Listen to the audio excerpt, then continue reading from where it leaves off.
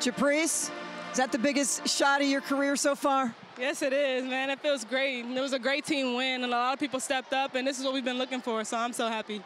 You got the switch on that play. Onyenwere had a guard, and you had Ibis switch out on you. I mean, were you thinking, I mean, you could, we could just see you thinking through it, and then finally you just said, it's on me. Is that what happened? I, I had to, it was nine seconds left to go. I mean, I didn't want to turn it over or make a bad pass. It just had to go up, and I felt confident. Lauryn Miller, I mean, she comes off the bench, and what a lift, a career high today in a big time game against a team that plays some great defense. Tell me what you thought of Lauryn Miller. She was. She had a steady about her. She was confident. Uh, she came in and she came ready. Her family's here. She showed out for her family, and, and we love her. We try to instill confidence in her, and she deserved it. She deserved every little bit of it. I'm so proud of her.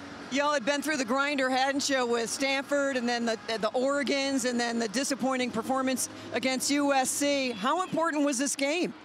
I think this is very important. Those were games just taught us uh, lessons, and we had to learn from them. I know it was hard, but everyone has adversity, and we're ready for it. So this game was big.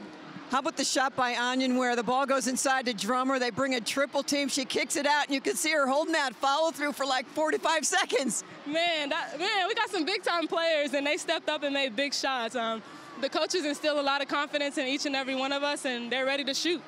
Japreece, a year ago, you got to play behind and with Jordin Canada. What did you learn from that that helped you on a day like today? Oh no, she's such a great player, great person. That's why I still keep in touch with her today. She's one of my mentors right now, so she helps me. She watch watches every game and helps me out a lot. It was great. I learned a lot. I learned how to be steady, learned how to be a point guard. Um, so it was great. I miss her.